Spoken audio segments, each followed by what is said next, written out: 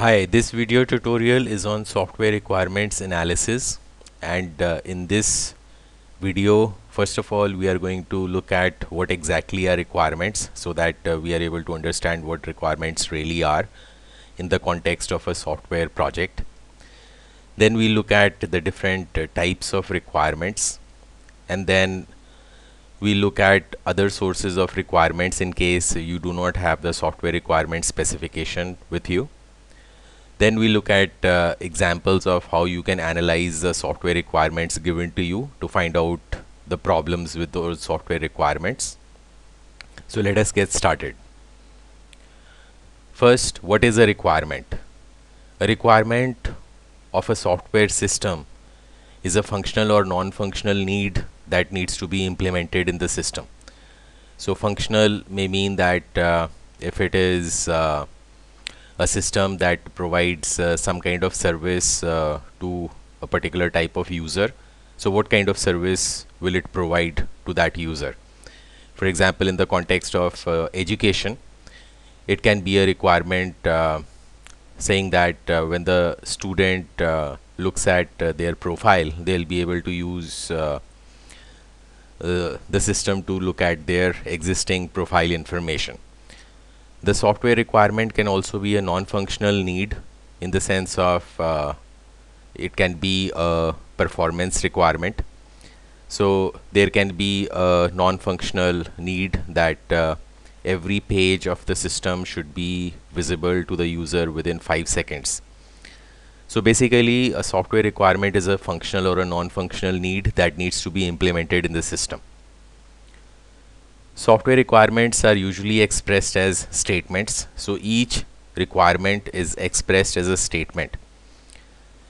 In order to clarify the requirement further, there can be an example given uh, with the scenario that gives more details of how exactly the requirement is supposed to be implemented in the system. Now let us look at uh, different requirements types.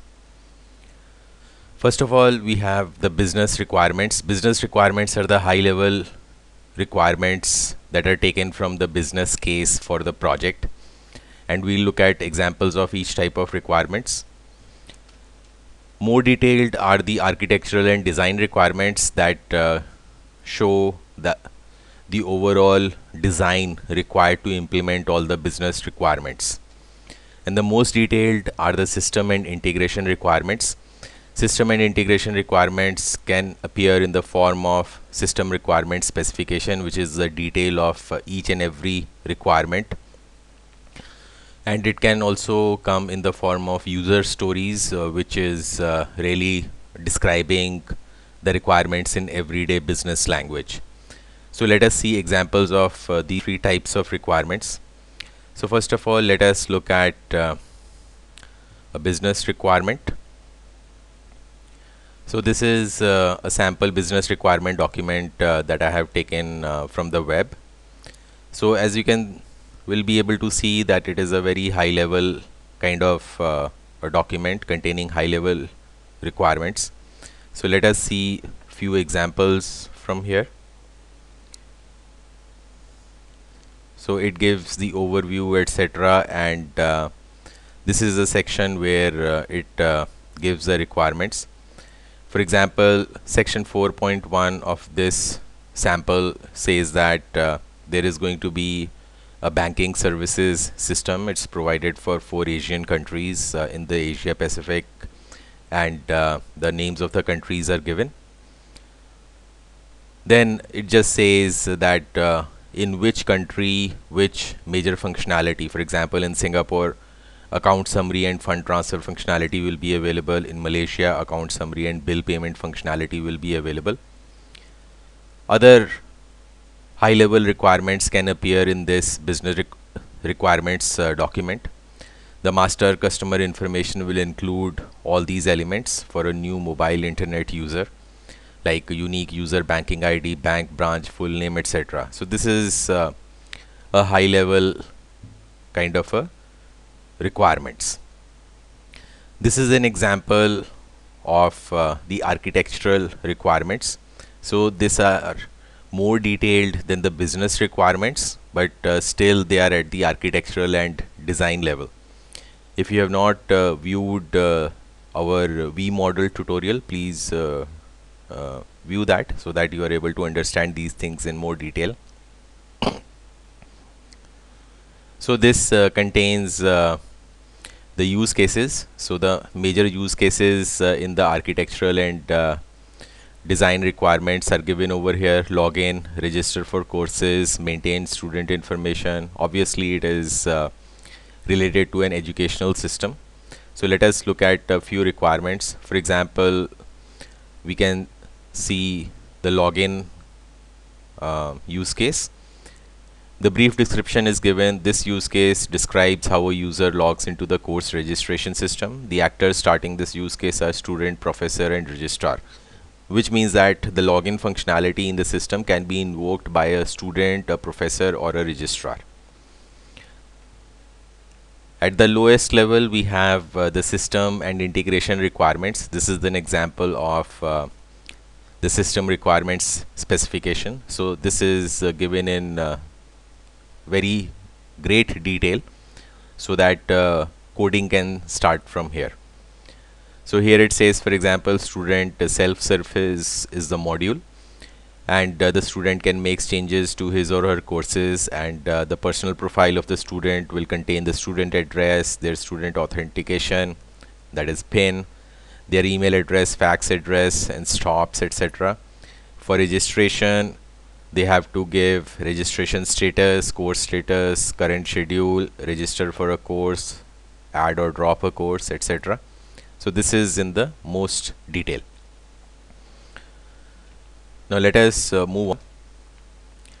Now sometimes if you are working in a project, it is possible that you do not uh, get any requirements documentation to work with but still there are other sources of requirements and before you start your software development or testing you need to gather the requirements information from these other sources so that you can base your software or base your test design on these requirements that you gather from the other sources. First of all, it's a knowledge transfer. So if you are new to the team, the existing team members may already be aware of uh, what are the requirements uh, they are working towards in implementing in the system. So you can get a knowledge transfer from those you can always talk to the business analyst, product manager, developers in the project, uh, project manager or the client to get what are the main requirements and to get some details of the requirements. Then you can also analyze the previous uh, system versions, uh, work with them to understand uh, what is the requirements that are already implemented in the system so that uh, you have a familiarity with the existing requirements. It is possible that there are older requirements documents available and you can look at those along with the previous system versions to come to know about the existing requirements the already implemented in the system then you can also look at the past bug reports. Some of the bug reports uh, are turned into enhancement requests which may be implemented in the current release of the system. You can get information from those. You can also look at the install guide if it is available to see what are the existing installation requirements. And finally you can leverage your existing domain or industry knowledge to understand uh, what the existing system is all about and what is the new requirements that the team is trying to implement. Whatever requirements you get from these other sources make sure to document them in some form and uh, get them reviewed from the other knowledgeable team members so that you have a good idea of what is the current overall set of requirements including the previously implemented requirements and the new requirements that the team is working to implement in the system and then there can be legal or statutory requirements that uh, every system in that category has to implement now let us look at uh, how to analyze the requirements and uh, let me jump into an example over here. So here in this example we have uh, uh, three columns. First is the requirement quality. When you look at all the requirements whether you have got the requirements from a requirement document like a soft, uh, uh, software requirement specification or architectural requirements document or even business requirement document or you have gathered your own requirements you need to look at uh, different qualities of each and every requirement the next column is example of a bad requirement with some problem and then the same requirement converted into a good requirement once the requirement problem is removed. So each and every requirement that you have should be atomic. Atomic meaning it should be at a very low level of detail. It should not be possible to separate it out into components because uh, requirements uh, have to be kept simple if uh, they have to be implemented uh, uh, completely and correctly without any confusion so example of a bad requirement is let us continue with the example of a system being developed in the education domain so students will be able to enroll to undergraduate courses and postgraduate courses. This is not atomic because it talks about uh, two different uh, entities of the system undergraduate courses and postgraduate courses. So obviously it's not a good requirement, it's a bad requirement.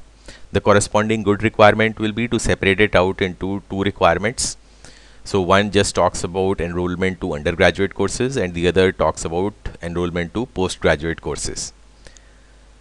The next requirement quality that each and every requirement should have is that uh, every requirement should be uniquely identified. So here we can see that there are a couple of requirements enrollment to undergraduate courses and enrollment to postgraduate courses. But the ID given for both is 1 so which means that if we are talking about a particular requirement ID of 1 it is not clear which exact requirement we are referring to in other documents or parts of the system. So separating it out uh, with unique IDs so the requirements can be rewritten as uh, the section 1 is course enrollment and it has two requirements 1.1 ID is enrollment to undergraduate courses and 1.2 ID is enrollment to postgraduate courses. Then each and every requirement should be complete. Here is an example of a bad requirement. It says a professor user will be able to log into the system by providing his username, password and other relevant information. Well, what is the other relevant information? So it is not clear. So when that other relevant information is spelled out, so as to completely flesh out the requirement it becomes a good requirement a professor user will log into the system by providing his username password and department code so this contains all the information then each and every requirement should be consistent and unambiguous. So here for instance uh, we have a requirement. A student will have either undergraduate courses or postgraduate courses but not both. This is one requirement. And there is some other requirement which says some courses will be open to both undergraduate and postgraduate students. The problem here is that a student can either go in for undergraduate course or a postgraduate course but not have a mix of both which seems to indicate that the courses are divided into two categories. Undergraduate courses are separate and postgraduate courses are separate. But this the other requirement seems to say that some courses are both undergraduate courses as well as postgraduate courses. So obviously there is a conflict over here and uh, this needs to be resolved by whoever is documenting the requirements. So converting it to a good requirement can be just uh, removing the other conflicting requirement. So it says uh, now a student will have either undergraduate courses or postgraduate courses but not both. Which means that every course will be marked as either being an undergraduate course or a postgraduate course then each and every requirement should be traceable because there are different levels of requirements. We already saw that uh, at the top we have the business requirements then we have the architectural and design requirements and then we have the system and uh, integration requirements. Now when we convert business requirements to architectural and design requirements or we convert architectural and design requirements to the system and integration requirements there has to be a traceability which means that we should be able to take each and every business requirement and map it to the corresponding one or more software architectural and design requirements. So here is an example of a bad requirement. It says maintain student information is mapped to BRD requirement ID is not given over here. So converting it to a good requirement it says the same thing maintain student information and it is mapped to BRD requirement ID 4.1 so there is a mapping should be present for each and every requirement. Same way we have mapping between high level and low level requirements. The mapping is also there between a system and integration requirement to the code that implements that requirement.